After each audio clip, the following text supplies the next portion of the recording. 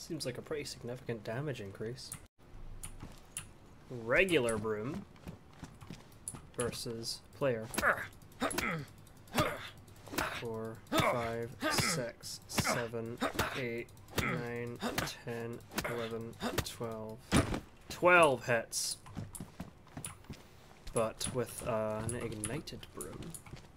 One, two, three, four, five, six. Six?